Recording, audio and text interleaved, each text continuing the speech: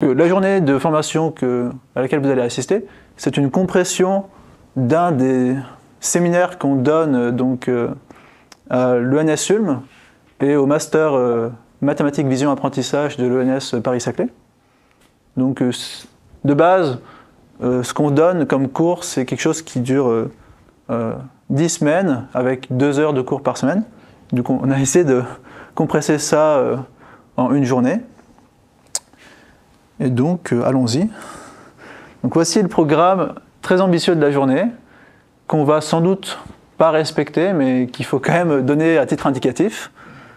Euh, Amaury, tu seras chargé de faire la montre si c'est possible. Et donc voilà, donc donc j'essaie un peu de donner la structure. Donc vous pouvez prendre une photo si, ça vous, si vous voulez. Donc on va commencer par la journée. À 10h15, on va commencer par présenter un petit peu les capacités des modèles actuels. Euh, puis on va faire, donc Amaury présentera la conférence introductive à la sûreté de l'IA, qui introduira différentes terminologies pour, pour avoir un petit peu, euh, on va dire, un bagage commun. Ensuite, on va faire un peu d'adaptabilité en vision, ça ira relativement rapidement, j'espère. Ensuite, on va introduire un très important euh, framing, paradigme, pour structurer les questions d'alignement des IA, à savoir l'alignement intérieur et extérieur, donc inner et outer alignement. À l'issue de ça, euh, donc on va s'intéresser à des risques asymptotiques. Euh, ensuite, pause déjeuner. Donc, le, donc ce, sera aussi un moment de discussion et on pourra, on pourra déjeuner dans cette salle. Euh, interprétabilité en Natural Language Processing, qui donne un petit peu des éléments de solution vis-à-vis des risques qu'on a euh, abordés euh, dans la matinée. Panorama des solutions et plan d'OpenAI et gouvernance des IA. Donc, euh, donc les grandes boîtes en intelligence artificielle et l'autodore des grandes boîtes en intelligence artificielle, donc telles que DeepMind, OpenAI, qui essayent de développer des IA à usage général, ont des plans, on va dire, pour faire en sorte que ces IA à usage général soient développés de manière sûre.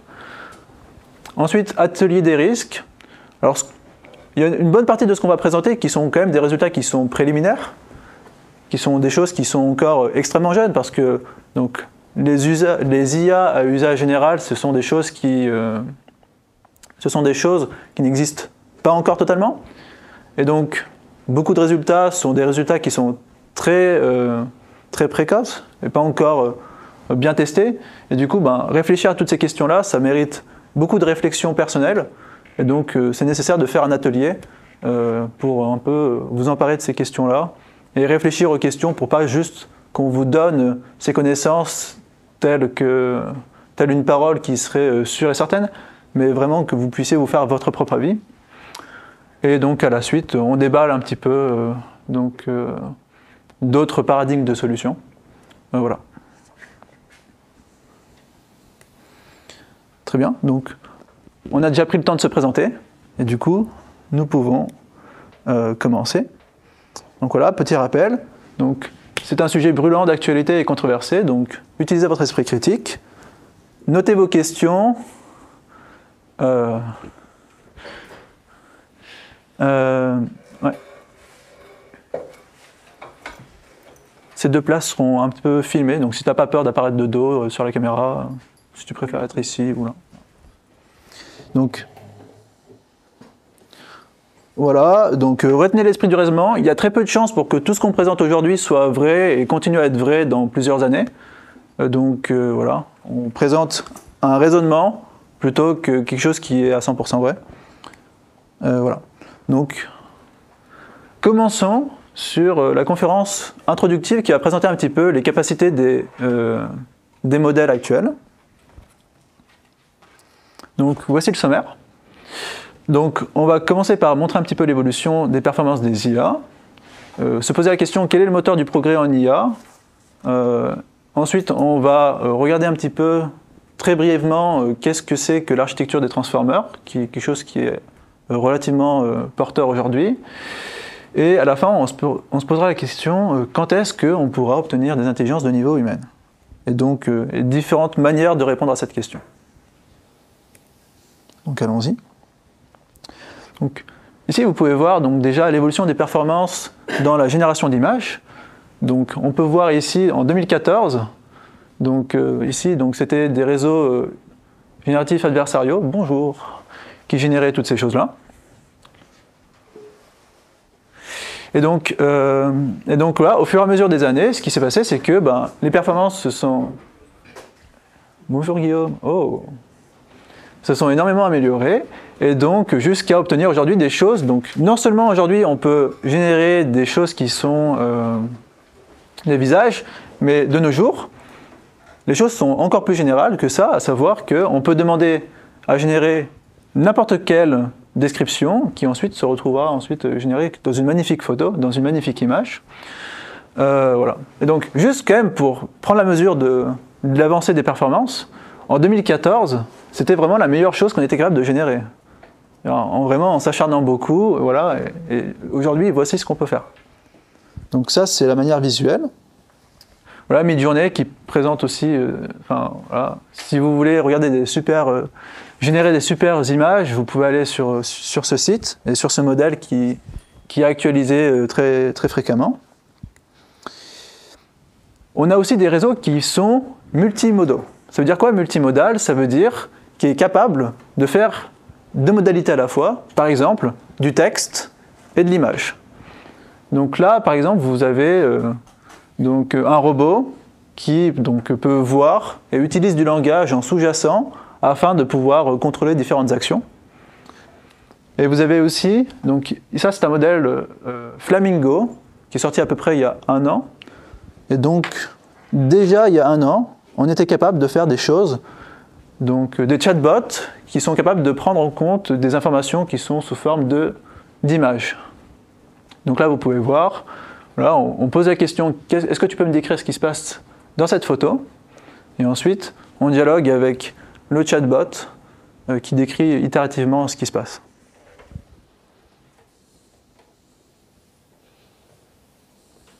Petite énigme. Donc ça, c'est euh, Palm, c'est un modèle de langage euh, qui, a été développé par Google il y a à peu près un an, je crois, je ne me souviens pas très bien. Et donc voilà, petite énigme, donc vous pouvez prendre le temps de réfléchir.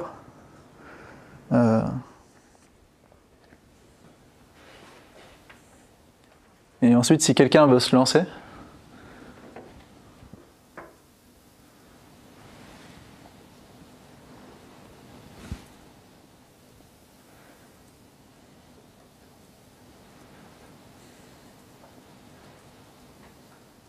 Oui? Je pense que c'est les, États-Unis. Non, ce n'est pas les États-Unis.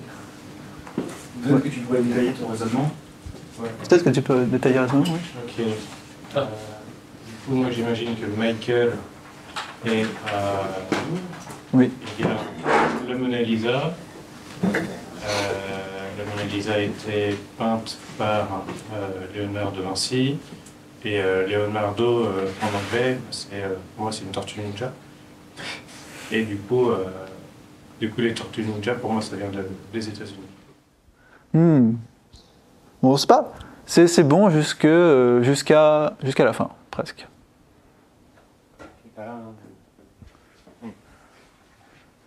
Mais moi non plus, je l'avais pas bon euh, du premier coup. Mais voilà, du coup, ça, ça montre que. Euh, alors, peut-être qu'il ne faut, pas faut pas anthropomorphiser ces modèles, mais il y a quand même une certaine capacité de ces modèles à, avoir un raisonnement qui se construit de manière itérative. Euh, bon, on ne sait pas si ces choses-là pensent, mais en tout cas, ces choses-là sont capables d'émuler un raisonnement. Un autre exemple d'IA multimodal, donc ça c'est quelque chose qui venait avant euh, les plugins euh, de GPT. Donc ça, ça fait à peu près un an que ça existe aussi. Donc là, vous pouvez voir euh, un modèle qui... donc on, fait une requête à un modèle, à savoir est-ce que tu peux me trouver une maison qui correspond à une contrainte de budget Et ensuite, il y a le modèle qui fait comme ça une recherche et qui va se naviguer sur Internet jusqu'à pouvoir entrer un petit peu les contraintes et jusqu'à pouvoir ressortir bah, des propositions de résultats. Et euh, ce qui est assez étonnant ici, c'est que ben, c'est quelque chose qu'on peut, peut appréhender comme toutes les tâches de robotique, de bureautique, pardon, pourraient euh, comme ça euh, s'automatiser par la suite avec des modèles qui font des tâches itératives. Et en sous-jacent, alors ça n'apparaît pas ici, mais en sous-jacent, ce modèle utilise des IA euh, de langage, des modèles de langage de type GPT.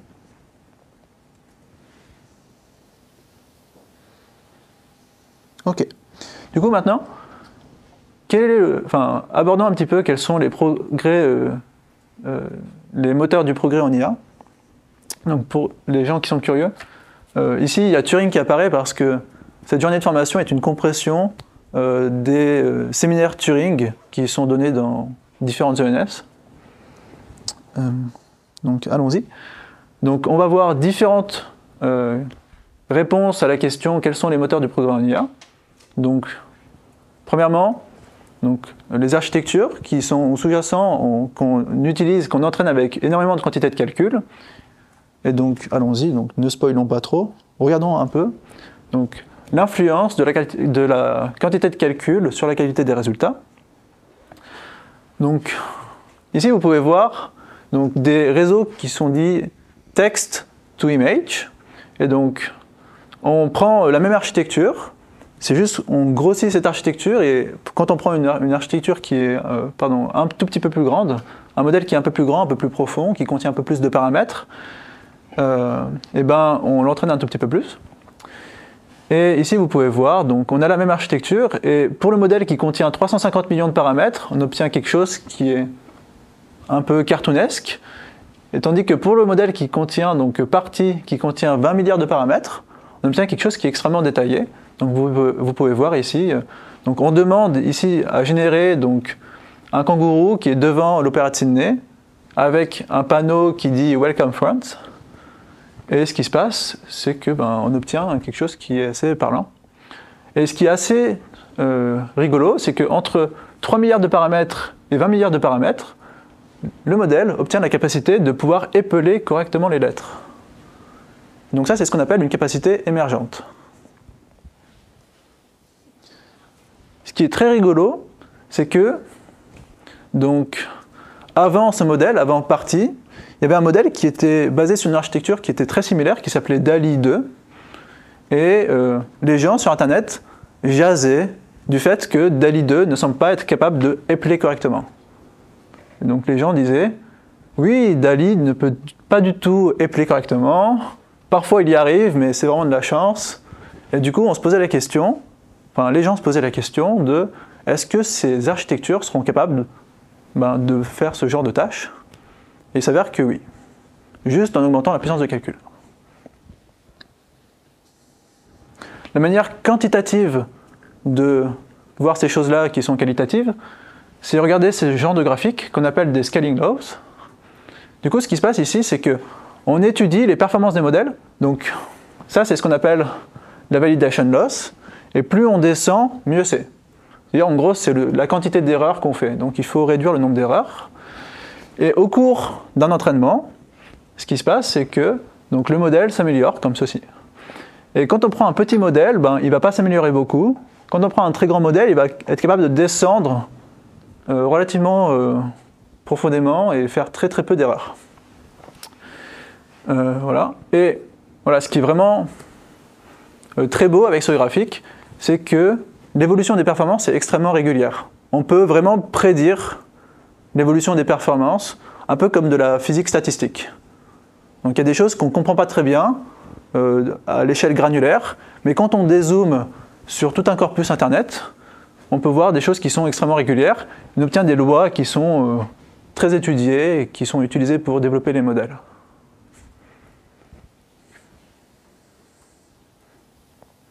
Ok, donc l'architecture phare qui est sous-jacente à toutes ces avancées, euh, donc c'est l'architecture des transformers. Donc je ne vais pas décrire l'architecture, je vais juste donner un petit peu le schéma de comment est-ce qu'on l'entraîne. On l'entraîne par une procédure qu'on appelle du teacher forcing. C'est quoi le teacher forcing? C'est euh, je vais prendre une phrase en entrée. Donc start of sentence, I have a car. Et pour chacun des mots, qu'on appelle des tokens, je vais essayer de prédire le mot suivant. Donc, start of sentence doit prédire I. I doit prédire have. Have doit prédire a. Et ainsi de suite. Et ce qui se passe, c'est que euh, j'ai un vocabulaire de 50 000 mots au début, à peu près. Et donc là, quand j'ai euh, A qui doit prédire car, en fait, il peut prédire une distribution de probabilité sur les 50 000 mots. Et il faut faire en sorte que cette distribution de probabilité soit le plus piquée sur le mot, euh, le bon mot. Donc ici, j'ai une distribution de probabilité sur les 50 000 mots. Et il faut que j'ai une probabilité qui soit le plus proche de 1 sur le mot car. Et donc, en faisant comme ça, euh, ce qui se passe, c'est que l'architecture des transformers euh, est capable, en parallèle, de faire une prédiction sur l'ensemble des mots de la phrase. Et donc, c'est cette technique-là qui permet euh, d'avoir un entraînement qui est extrêmement rapide. ouais. Donc ça, ça parallélise l'entraînement comparé à ce qui se passait auparavant avec euh, les réseaux récurrents, les RNN, qui eux, pour le coup, il faut donner le premier mot, puis donner le deuxième mot, puis donner le troisième mot, et faire ça de manière itérative, et donc c'est beaucoup plus lent. Tandis qu'ici, on peut tout faire en parallèle. Et donc, cette technique-là nous permet d'utiliser ben, au mieux les, GPU, les cartes graphiques, qui sont des machines, du hardware qui permettent de paralléliser les calculs. OK Ok, maintenant, intelligence de niveau humain, quand? Donc, on va déjà donner une définition opératoire et voir ensuite différentes manières de répondre à cette question. Donc, par des méthodes qu'on va donner, qu'on dit des outside view, et des méthodes qui sont plus inside view. Donc, on va voir déjà la définition et ensuite voir les outside view. Donc, intelligence de niveau humain.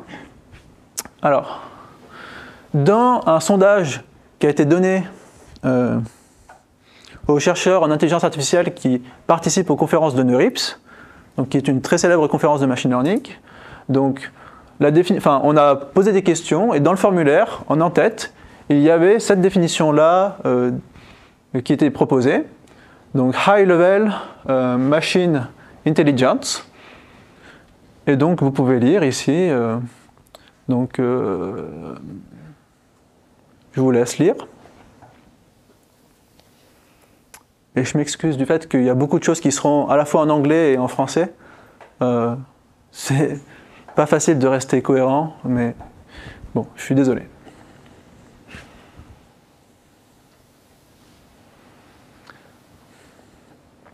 Voilà.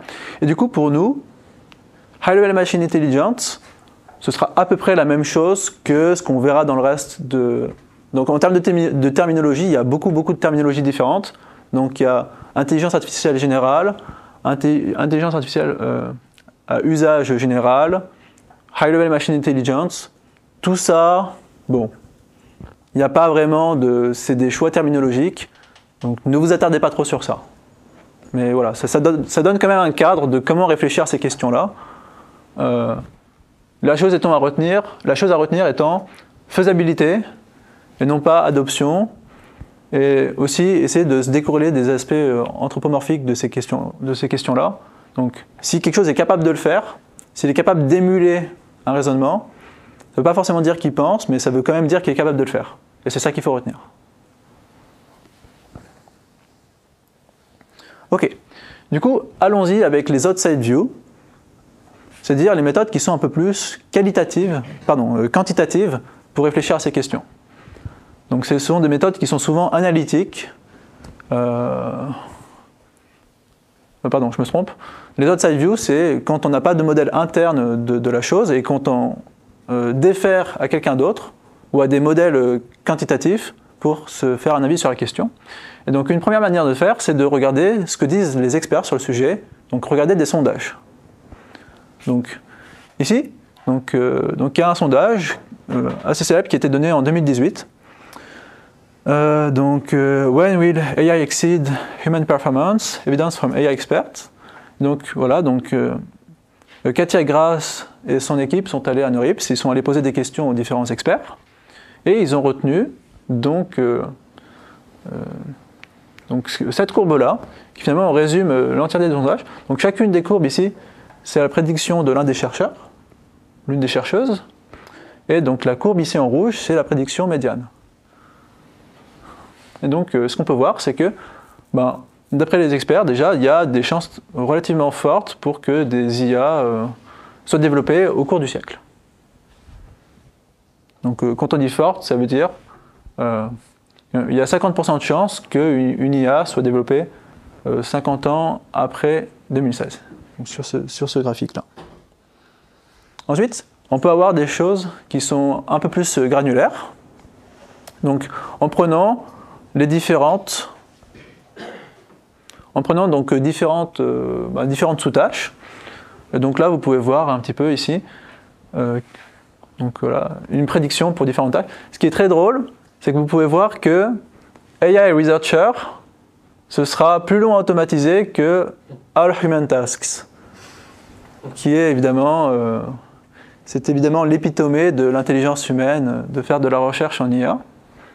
Euh, bien plus dur que euh, performer correctement à Putnam Math Competition, évidemment. Euh, bon, mais c'est quand même, bon, ça quand même, il faut pas non plus trop rigoler parce qu'en vrai, c'est très difficile de prédire le futur. Voilà. Donc peut-être pour ceux qui se posent la question, la différence entre All Human Task et All Human Jobs, c'est la différence entre être capable de le faire et le faire effectivement.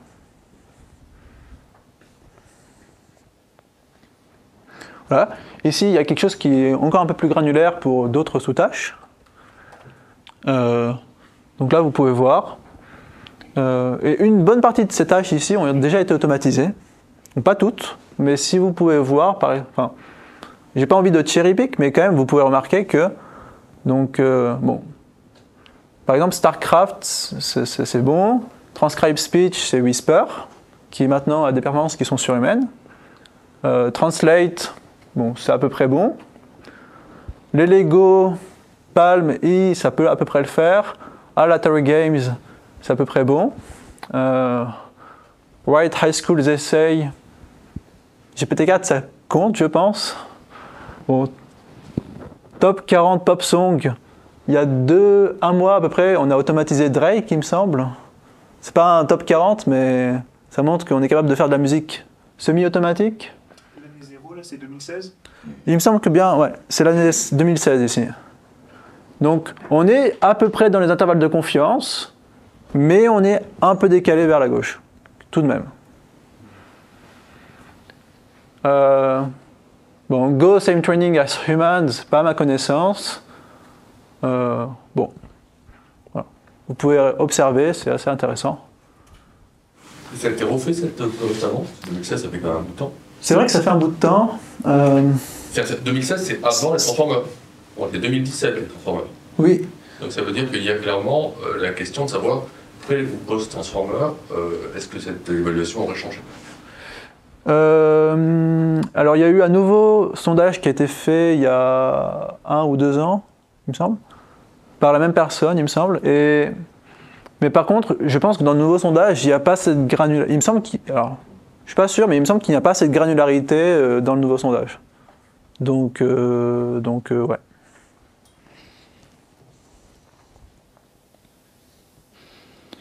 Ok Alors, il y a euh, les différentes personnes, les différents experts. Il y a aussi des communautés euh, de forecasting. Donc, ce sont des sites internet qui agrègent euh, différents résultats. Et donc, les gens peuvent. donc, par exemple, il y a Metaculus qui, fait ça. Et donc, il donne une définition de ce à quoi pourrait ressembler l'intelligence artificielle générale, donc avec quatre critères. Et ensuite, ben, les gens essayent de donner leurs estimations et on agrège tous ces résultats ici. Et donc ben là, en l'occurrence, cette communauté donne, euh, donc déjà ça a beaucoup euh, réduit, hein. et euh, aujourd'hui on donne 2028 dans cette communauté.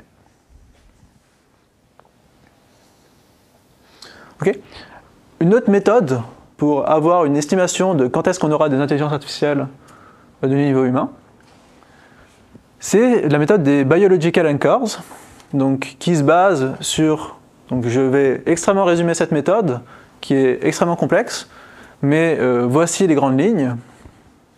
Donc on essaye de donner une probabilité d'IA qu'on dit transformative, donc euh, à une année Y.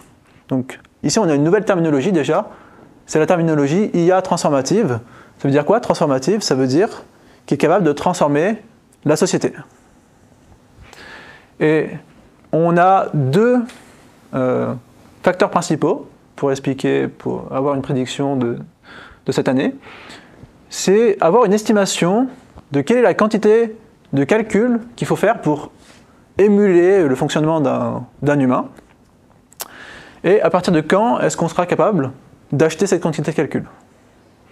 Et donc là, vous pouvez vous dire que ici, il faut se poser des questions sur est-ce qu'il faut émuler un cerveau ou est-ce qu'il faut émuler juste euh, le raisonnement ou juste une seconde de ce qui se passe dans un cerveau ou alors la durée entière d'une vie humaine ou alors même euh, l'entièreté du processus évolutif?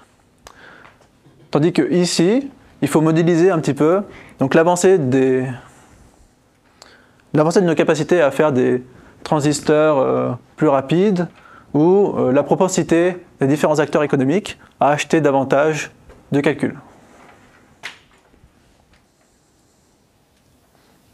Donc, déjà, il faut se poser la question, qu'est-ce que je veux émuler? Donc, Et là, c'est déjà très compliqué. Donc, est-ce qu'il faut émuler, est-ce qu'il faut autant de calculs que pour émuler un cerveau humain qui euh, apprend des choses entre sa naissance et 32 ans Et dans ce cas-là, il faut 10 puissance 28 flop, flop étant l'unité de calcul. Soit il faut simuler l'entièreté du processus évolutif, ce qui est quand même assez, euh, assez énorme comme, comme, comme, upper bound. Dans ce cas-là, il faut 10 puissance 41. Soit il faut... Euh, donc il y a des choses qui sont un peu plus alambiquées ici. Je vais aller vite, on n'a pas trop le temps. Mais euh, notamment, parmi ces hypothèses, il y a Peut-être qu'il faut simplement émuler une seconde du raisonnement d'un cerveau. Dans ce cas-là, on, tombe sur des choses qui sont intermédiaires. Et avec toutes ces hypothèses, on obtient différentes courbes. Et quand on essaye de pondérer un petit peu sur nos crédences vis-à-vis des différentes hypothèses, on obtient la courbe ici en noir. Euh, et donc vous pouvez voir que ce qui est assez fascinant, c'est qu'on obtient quelque chose qui n'est pas trop loin de ce que disaient tout à l'heure les experts. Euh, c'est-à-dire avec probabilité 50%, quelque chose dans à peu près 40 ans. Bon. Très bien. Euh, et non, peut-être aussi un truc à retenir, c'est que même sur les hypothèses les plus incroyables, à savoir essayer de simuler l'entièreté du processus évolutif, bah on obtient quand même des choses avec des probabilités qui sont très significatives à l'horizon du siècle. Ok, donc là, Jusqu'à présent, on a vu ce qu'on appelle des outside views, c'est-à-dire euh, faire les choses par le calcul et ne pas forcément euh, se faire son propre avis. Et euh, ensuite, on peut maintenant passer à, des inside views. Et donc, allons-y. Donc les inside views, c'est par exemple regarder un petit peu les performances des modèles actuels et comparer ben, avec la qualité de ce que font les humains et ben ça, ça nous donne directement une réponse. Parce si les modèles actuels font mieux, ben ok. Donc allons-y. Sur certaines tâches très précises, par exemple, prédire le prochain mot, eh ben, il semblerait que les modèles de langage sont déjà capables de faire mieux que les humains. Donc les humains sont certes capables d'avoir un raisonnement de meilleure qualité pour des tâches de longue durée, actuellement, mais pour la prédiction juste du prochain mot, en moyenne, donc euh, quand on évalue ici par exemple avec euh, euh, cette plateforme-là, donc c'est un jeu qui est sur, un site internet, vous pouvez y jouer vous-même. Donc on a une liste de mots, et si on vous pose la question, essayez de prédire le prochain mot, et donc on a des évaluations comme ceci. Il semblerait que même des modèles rudimentaires font mieux que ici la distribution de ce que font les humains. Et plus on va vers la droite, mieux c'est. Donc vous pouvez voir que les humains sont un peu déjà euh, moins bon sur, sur cet âge. Mais bon, prédire le prochain mot, c'est pas forcément ce qui nous intéresse. Donc gardez ça à l'esprit. Mais voilà, c'est quand même une première méthode qui permet d'évaluer. Ok. Dans un papier qui est relativement récent, de GPT-4, qui s'appelle Spark of AGI, il y a quelque chose qui, moi, m'a pas mal marqué. Euh, donc, on pose la question, est-ce que tu es capable d'écrire une preuve qui a une infinité de nombres premiers avec des rimes? Et GPT-4 déballe euh, la preuve, qui se lit très facilement. Et c'est pas une AGI, mais je pense que si on avait montré ça à Alan Turing euh, à la belle époque, il dirait, lui, que c'est quelque chose qui, quand même, ressemble beaucoup.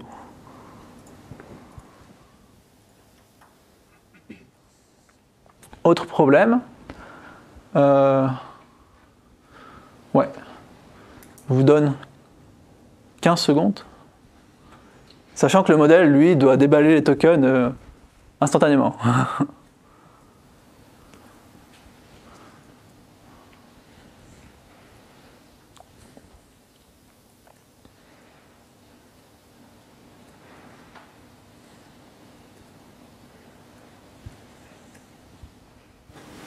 Ici, c'est pas une démonstration parce qu'on n'a pas de.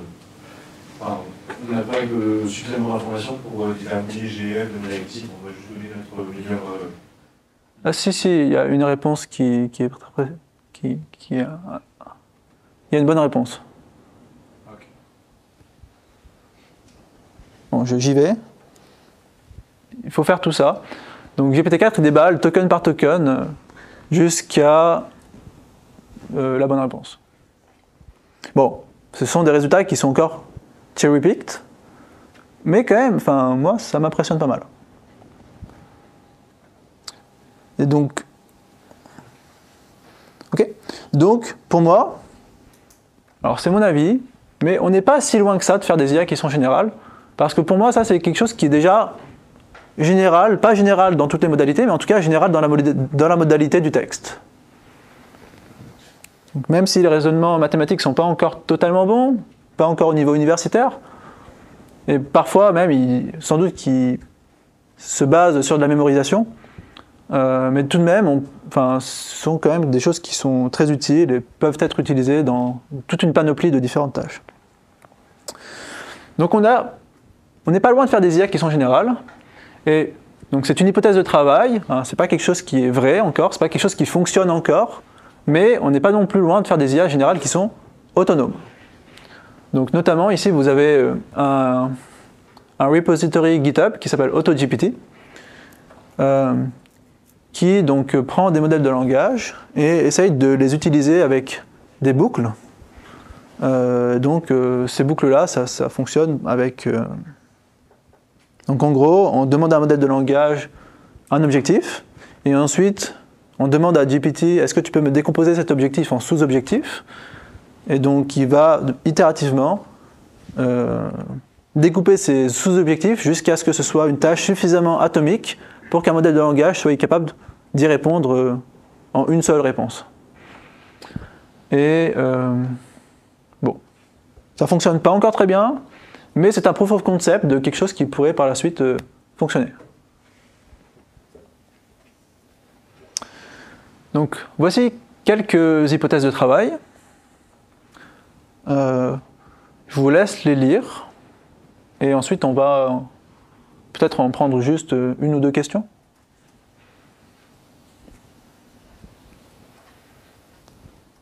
Donc ces hypothèses de travail, c'est un petit peu comme tout n'est pas forcément vrai ici, mais euh, un peu de la même manière que lorsque, on, lorsque en physique, en terminale, on nous demande soit un référentiel supposé galiléen, et ensuite on déballe les calculs. Ici, on peut voir ça un peu de la même manière. Donc, euh, même si ces choses-là sont des choses qui concernent le futur, et donc on n'est pas sûr de ce qui se passera dans le futur, on se place dans ces hypothèses pour avoir une meilleure réflexion et avoir une meilleure capacité à anticiper les risques.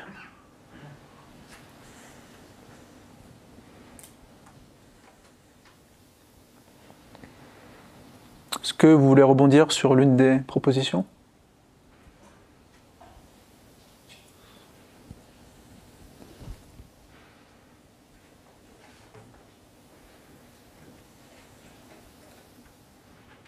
Tout est clair C'est suspicieux, théoriquement. euh, théoriquement, tout n'est pas clair, mais bon, je ne vais pas forcer. Ok. Du coup, euh, ok. Tout de même, donner quelques limites des IA actuelles. Donc, les IA actuelles ne sont pas robustes. Par exemple, la voiture autonome, euh, on a quand même des gros problèmes pour avoir les derniers de, de robustesse. Euh, planification long terme, compréhension profonde, ça peut se. Entre mémorisation et compréhension, il y a beaucoup de débats. Euh, Yoshua Benjo parle souvent du fait qu'il manque des systèmes 2 dans les IA. Et euh, le vitesse d'apprentissage et continual, continual learning sont des choses qui sont encore euh, peu maîtrisées et insuffisantes. Tu peux préciser qu'est-ce que c'est le système 2 qui manque dans Ah, le système 1, système 2, j'imagine Oui, oui, effectivement. Donc système 1, système 2, c'est une terminologie qui est donnée par Daniel Kahneman. Et euh, dans son livre Thinking Fast and Slow, et système 1, c'est un petit peu euh, l'intuition, tandis que système 2, c'est un petit peu du raisonnement qui est un peu plus itéré, un peu plus. euh, qui prend plus de temps. Donc par exemple, vous pouvez vous dire que par exemple, sur la traduction automatique, les IA sont capables de ont des bonnes intuitions de ce qu'il faut traduire. Par exemple, on mémorisait beaucoup beaucoup de choses et donc il y a des bonnes intuitions. Par contre, quand un humain va relire la traduction et va réfléchir un peu plus longtemps à ce qui se passe, va trouver parfois des failles. Donc le système 2 est capable de trouver des failles et itérer sur une première proposition qui est proposée par le système 1. Moi, je le vois à peu près comme ça. Même si ce sont des choses qui sont euh, extrêmement fuzzy et donc euh, mettre avec des guillemets. Continual learning, c'est la capacité à, euh, de la même manière qu'un. Donc actuellement en machine learning, on a un entraînement et un déploiement, une phase de test. Donc il y a une séparation entre les deux.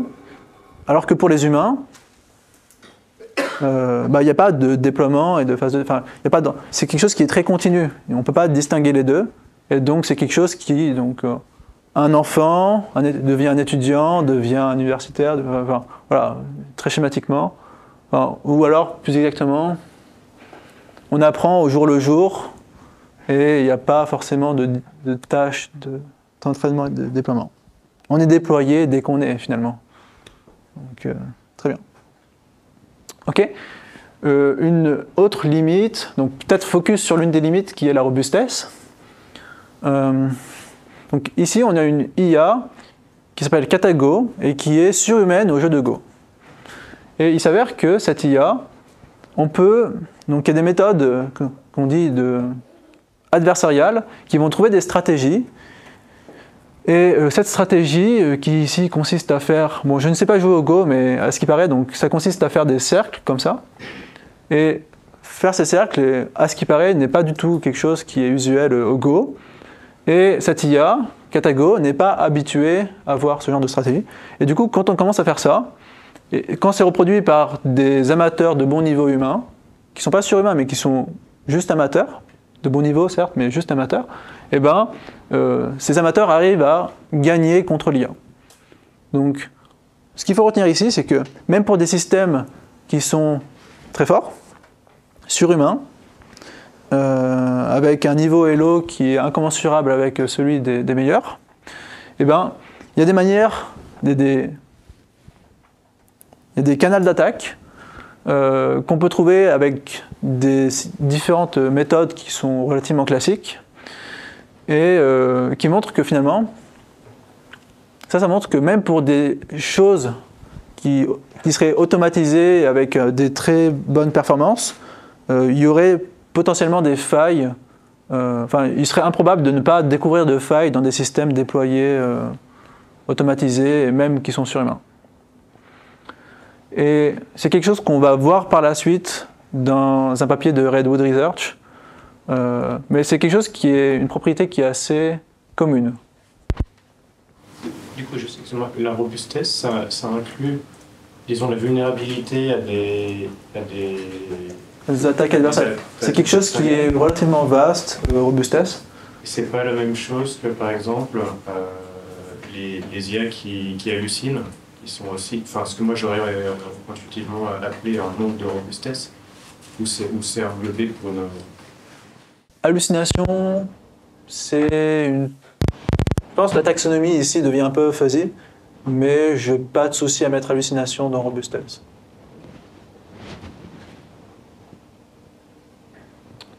Et peut-être une dernière étape, c'est présenter les limites, donc euh, un petit peu avoir une meilleure euh, compréhension de ça veut dire quoi IA général.